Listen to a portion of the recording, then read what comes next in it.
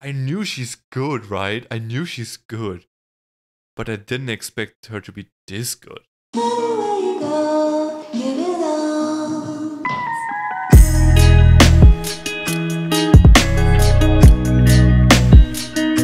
Hey guys, it's me, Cruel, back again with another reaction video on this channel, and this is Itzy's Lia with her, I think, first OST, her first solo OST. This is I Light You Up Like a Star for the Red Sleeve, a currently airing K-drama, and uh, pretty popular in Korea from what I've heard. And I'm very happy to see that she actually has a solo OST. I always thought that she is a very, very good vocalist, and I can't wait to check this out. So um, I think there's a music video to this, like with scenes of the drama, but I figured I'm just gonna watch the lyric video instead because it really is just about Lia, and I wanna try to focus on the singer more than the drama when I watch the OST. Uh, I have been not doing that in the past, so I kind of want to change my ways there. So yeah, let's do that. Let's start. If you want to see more Itzy reactions, pin comment as a playlist. Thank you. Let's go. I light you up like a star. Oh, it's the first time I hear her sing a song alone. I feel like there I think there were a few covers that she posted. I've never checked them out though. If you want me to react to them, let me know. But first time. Oh, oh that's very deep, I didn't expect.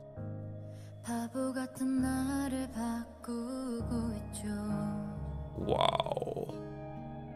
Yo, I knew she's good, right? I knew she's good. But I didn't expect her to be this good. Like, okay, that just once again shows that idols are really good vocalists in their groups, but they're usually, most often, even better as a soloist because they just can completely show their own color and what they want to do, not what the company wants them to do. It just shows again, nothing against JYP at all, but it's a common thing in K-pop. Although, to be fair, JYP really don't like the, the, the, deep tones, right? So her having like the deep tones here is a, a thing that she definitely could not show in ITZY. Um, very often at least, very rarely. So that do be a JYP thing, that they focus on the higher register a lot. Twice. Oh. God, she's so good.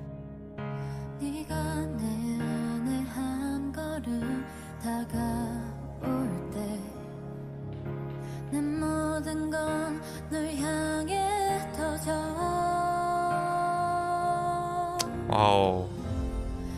That was a nice vibrato. On, onto the higher register now.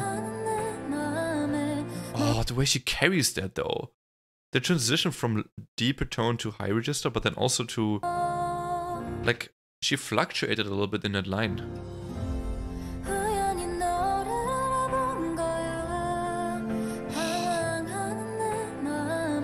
Wow.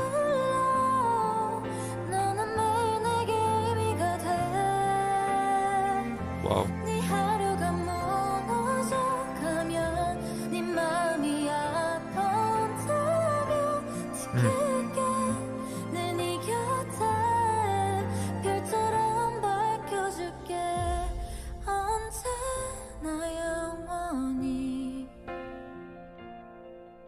She's incredible.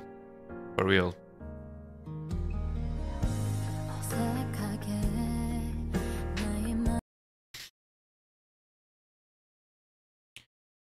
I'm actually kind of falling in love with the deep tone of hers. It's so pretty. It's so pretty. Oh man.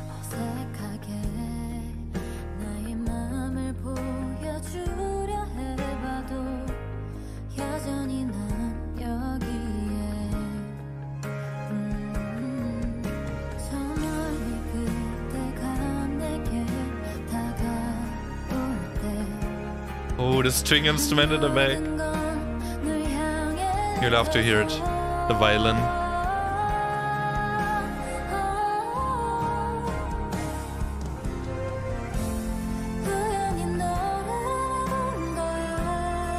Oh, this is kind of a nostalgic and melodramatic kind of, you know, song, by the way. Like, I, I'm not sure if it's ever gonna happen in the song, but I would obviously love to see her like belt out a high note or something because I think she can do that and I want to hear her do that.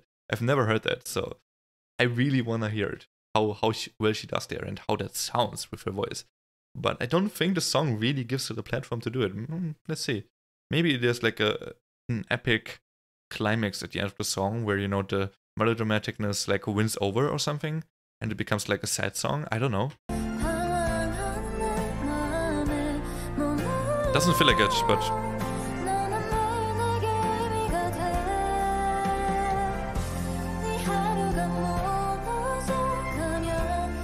No, but she, her voice and the string instruments together, it fits so well.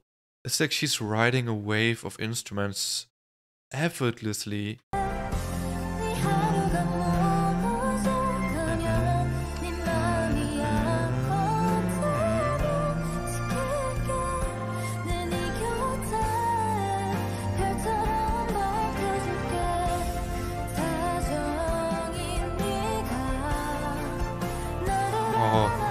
Oh, wait, it is ramping up for something.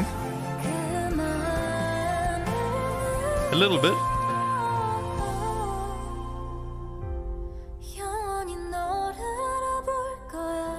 Wow. Oh, I got goosebumps. Oh.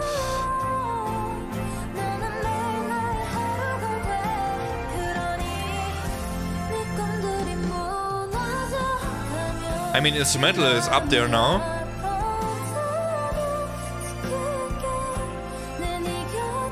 It doesn't feel like she's gonna go there. Ah. She raised volume, but she didn't raise the the power level. After all, it's quite an emotional song too, right? The meaning behind it. Like, she just kind of the female, ah, the main character of the song, whoever it is, maybe female, maybe male, maybe not, maybe something else, right? But the main character of this story really pledged their support for that other person they're talking about and their absolute like trust and also how do you say like yeah support i think is a good word because there's they're always going to be there and cheer up cheer them up. Um so take comfort no support i guess is the best word whatever. Stop trying. That is Lia. It's Lia. Um with what is called i light you up like a star yeah i was not even paying attention to that song title there, even though she said the you know the line of course in every chorus, but I was really drawn into her vocals, man. I'm not gonna lie. I was really drawn into her deep tone, especially. I really liked also how she fluctuated a lot. You know, it's it's not just one constant deep tone. She had like various levels in there, but also had like spikes of going to the higher register uh, every now and then. And I think in the middle section of the song there was like a whole section where it was a higher register again. But overall, that was really pretty. I'm not disappointed. And I again not disappointed, but one thing I obviously wanted and still want to hear. So I, I wonder if she maybe showed that in a cover before. So let me know. But I really want to hear her belting because I'm pretty sure she can do it. Maybe she's not as confident in it because it do be quite a hard thing to do and usually not something you do in a K-pop group, especially in ITZY. She probably doesn't do it. Um, there's very few K-pop groups that really use the belting type, right? Mamamoo is a good example with Solar, of course and sometimes Wheein, but there's not many doing that. Um, Taeyeon and SNSD maybe, I guess, but yeah, eh, eh, not many. So anyway, that was good though. I'm not disappointed. That was cute. Itzy, Lia, with her first solo OST, I'm pretty sure. Correct me if I'm wrong though. Um, thanks so much for watching the reaction video. I hope you enjoyed it, and see you next one.